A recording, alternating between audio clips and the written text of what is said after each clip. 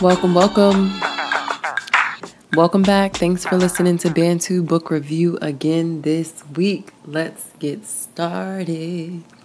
Okay, so we're jumping right into Hate It or Love It. Up this week, we have The Fire Next Time by the one, the only James Baldwin, author, activist, social critic, you name it, he embodies it. In my opinion, The Fire Next Time should be required reading for every American citizen.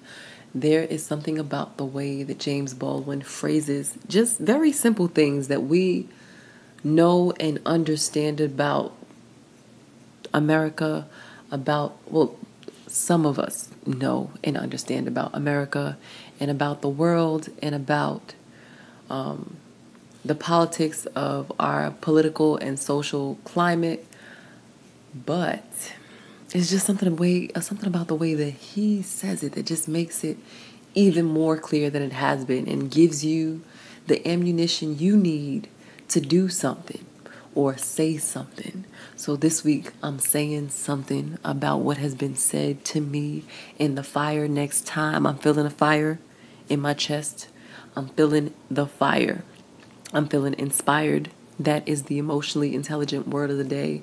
Um, I'm fired up. So, just a little context before we jump in. Um, the book came out in 63 at the time of the civil rights movement. Um, it gave voice to a lot of the things that were happening in the movement.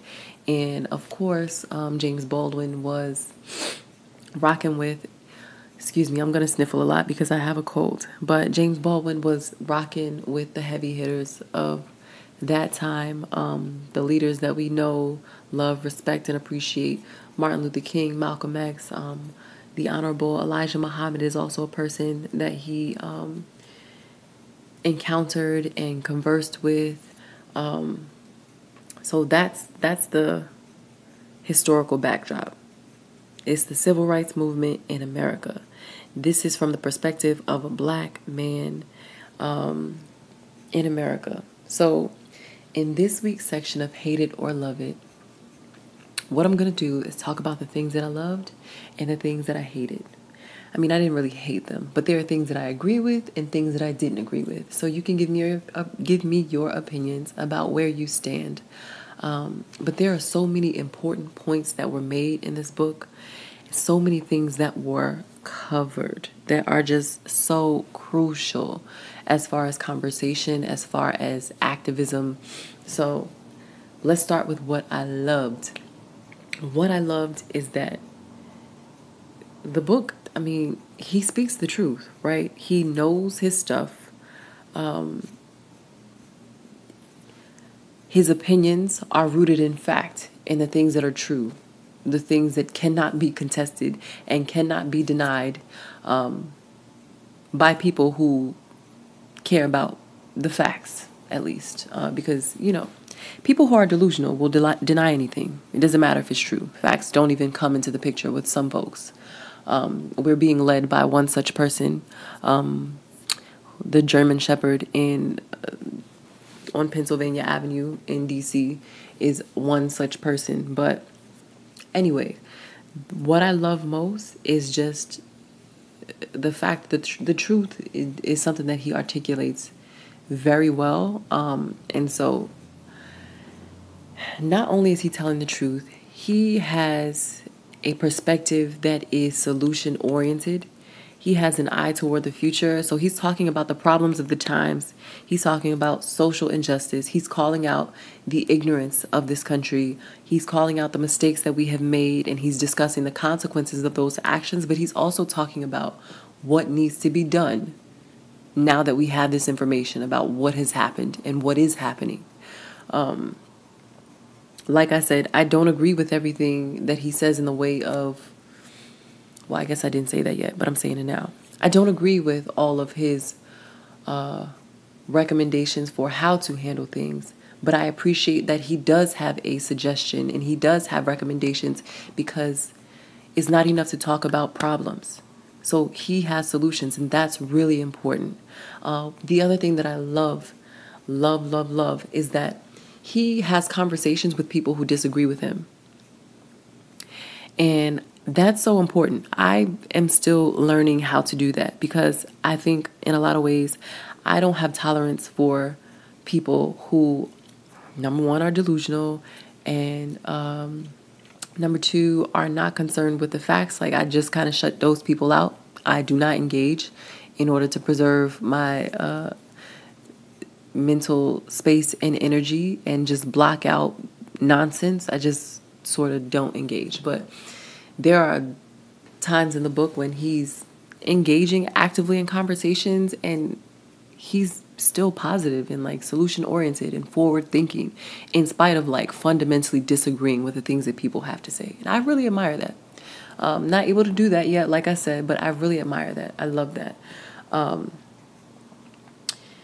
the other thing that I love is that um, I mentioned that he's positive, um, and that positivity lends itself to a level of optimism that I think is needed because he has faith in where we are able to go in spite of where we've been. And also, an important thing that's happening in this book is that he's actually writing a letter to his nephew, a person that he loves, which maybe informs the tone that he takes when he's saying the things that he's saying. He's talking about the state of America um, at the time of the civil rights movement. And of course, we know like it's crazy back then. It's crazy now, but it was crazier then. Um, but he's talking about this in a way and like he doesn't sound bitter. He doesn't sound not that it matters because you have we have every right to be upset about the things that have happened and the things that have continued to happen. But his message is is more received by anyone with the tone that he takes and with the approach that he takes. Um, and I think like the fact that he doesn't get emotional, at least the emotion is not the focus here. It makes his words more powerful and it makes the message more clear because it's not clouded with judgment and all these other things. Um, so, yeah. Um, he's a truth teller. He's not being emotional. He's not solely concerned with emotions. Um, he is a person who has friends from every perspective in every walk of life. And so he can see both sides and he all sides many sides not all sides. He can see many sides. And the angle and that perspective that he has knowing hey i've got white friends that i love and that love me. And i grew up in a black household in a black community in black America and in a certain position. Um, so I have that perspective too. It, it's just, he's well rounded in the way that he approaches these issues that fundamentally plague our society then and now. Um, but also, he's realistic. What I love is that his optimism does not make him delusional. He's very realistic about the fact that Optimism is what's needed, love is what's needed, but it is not going to be attained under the current circumstances and under the current ways that we're dealing with problems. Like, we cannot persist in this way if we're ever to get to where we need to be. That's important. Um, he is an author, he's a social commentator, so for him, language is critical.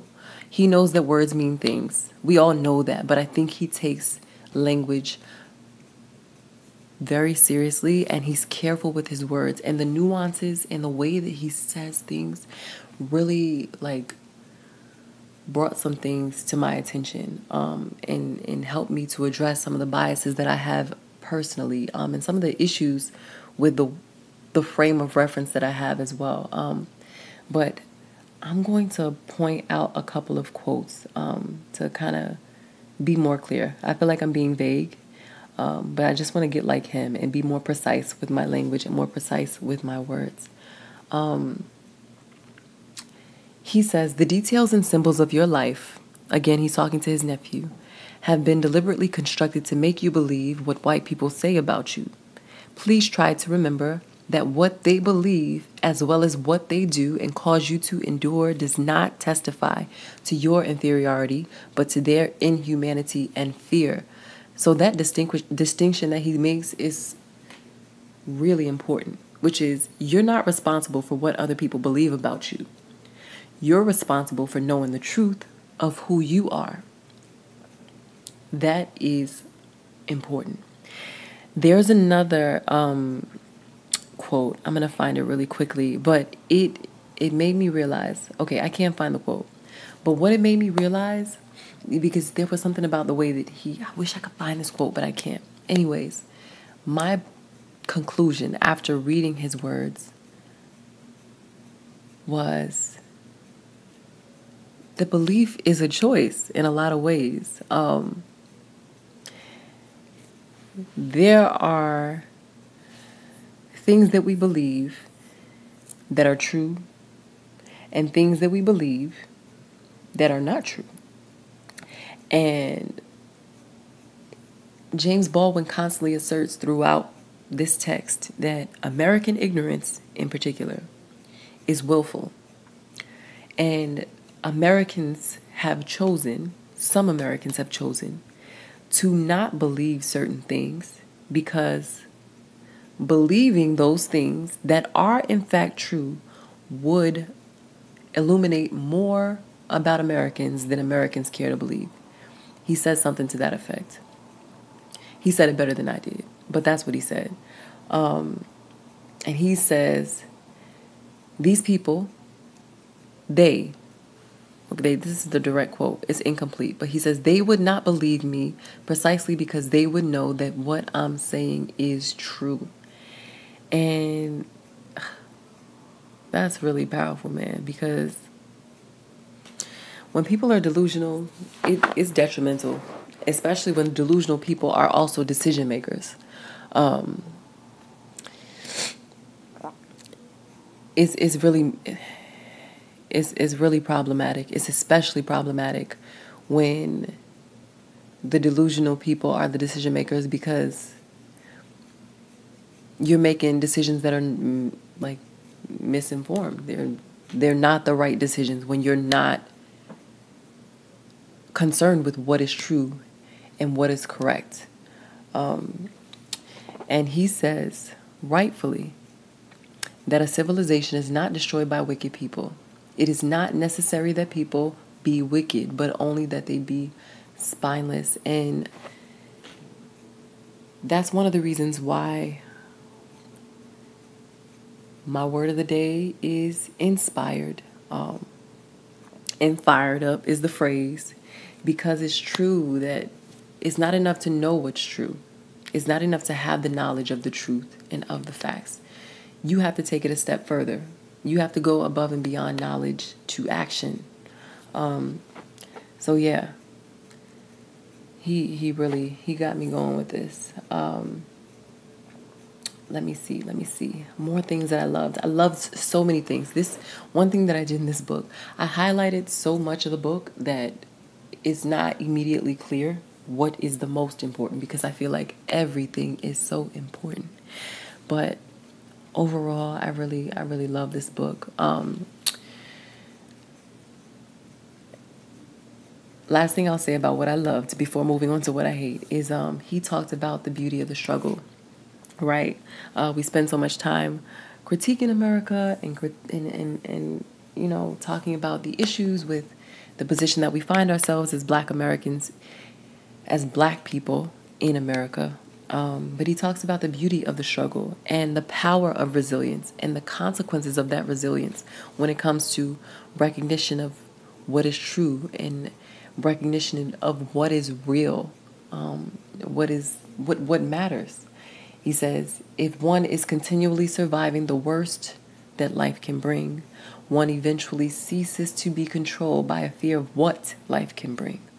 Whatever it brings must be borne. It's like, listen, it is what it is. You got to deal with this, and you will.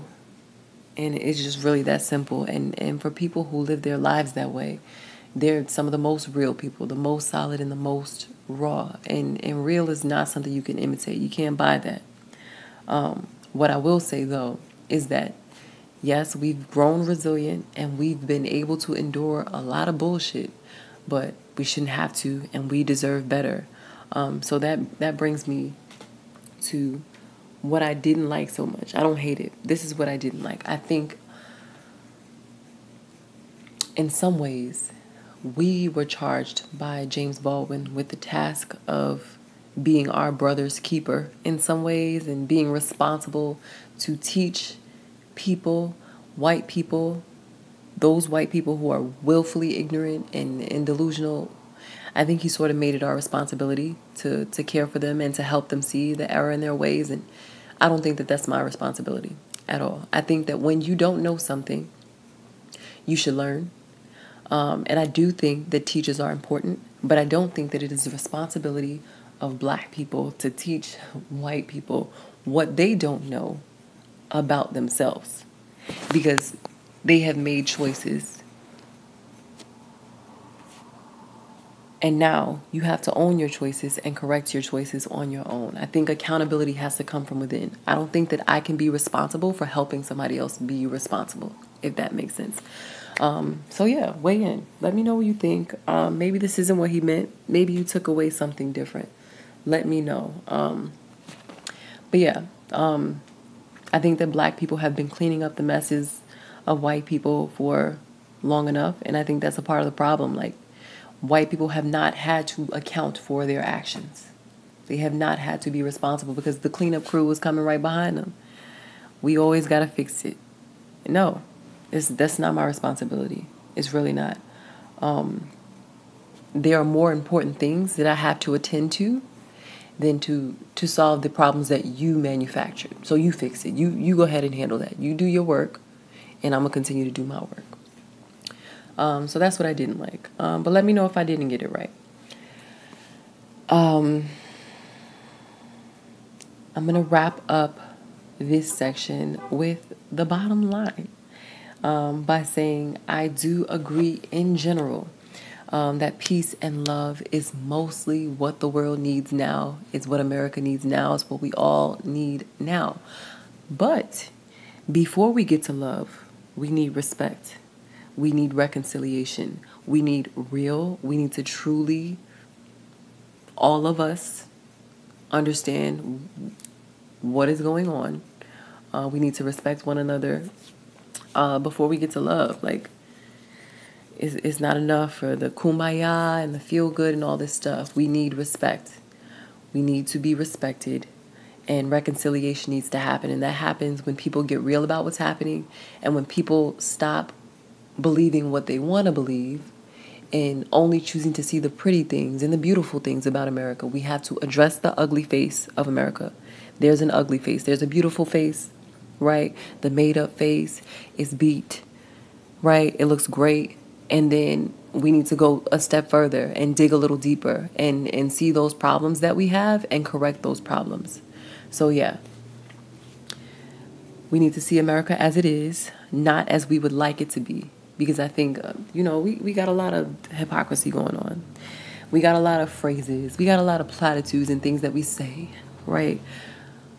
Liberty and justice for all all these things. We say that, right? We have to actually mean it. Um, and people have to know that, like, black people ain't going nowhere. So y'all can stay mad, uh, but we're going to stay woke and we're going to do our work within ourselves and on ourselves. And other people have to do their work as well. So, yeah.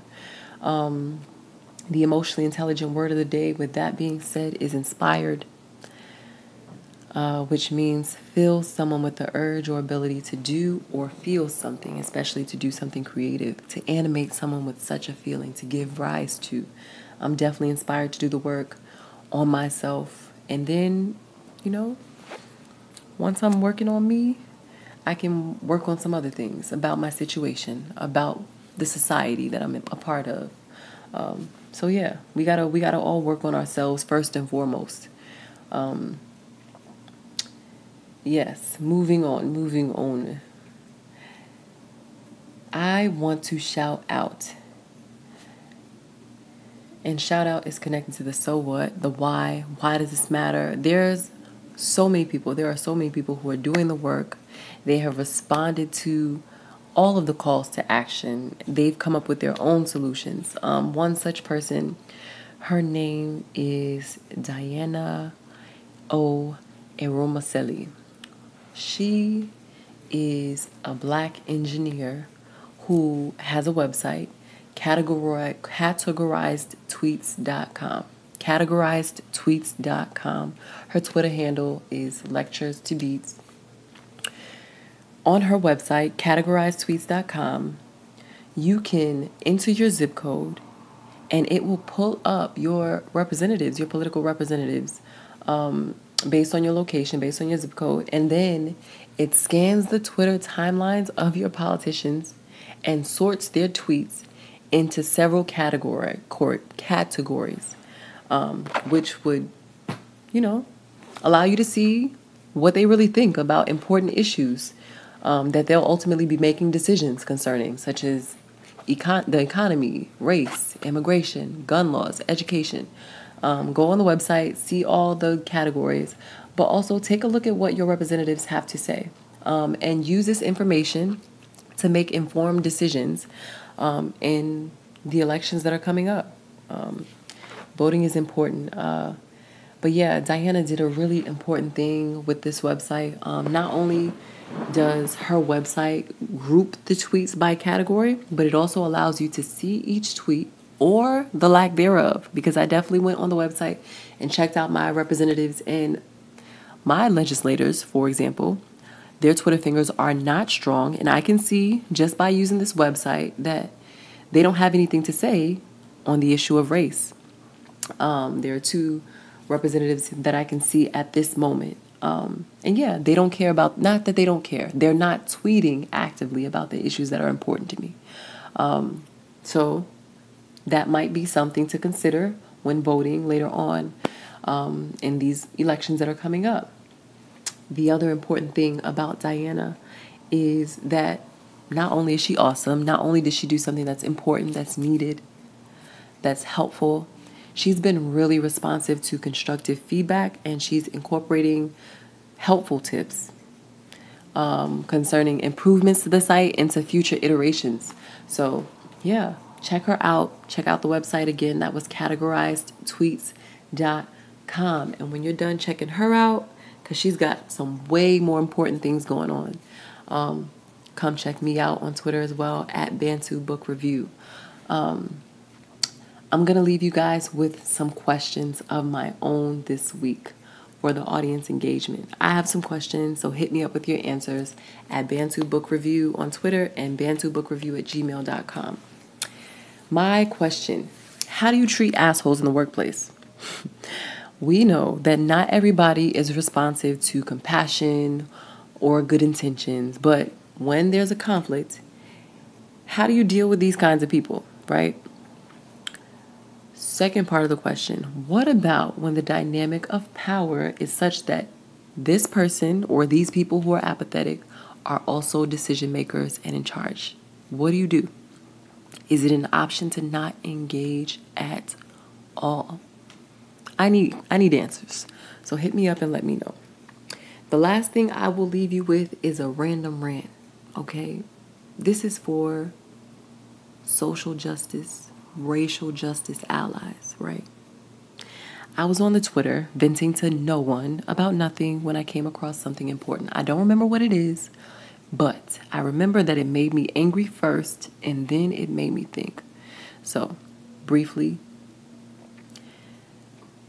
white allies, this is for y'all. Instead of spending so much time trying to get people to love you and to accept you as not like the others woke, or whatever other aspirational label you seek, worry about correcting your immediate family members and friends that are actively hating and terrorizing people on a regular basis, right? Some of these people, who again are your family and friends, are positioned to make some really important decisions that directly affect the people that you advocate for on a regular basis.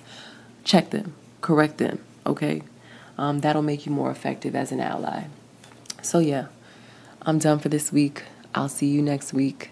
Thanks for listening at Bantu Book Review. Bye.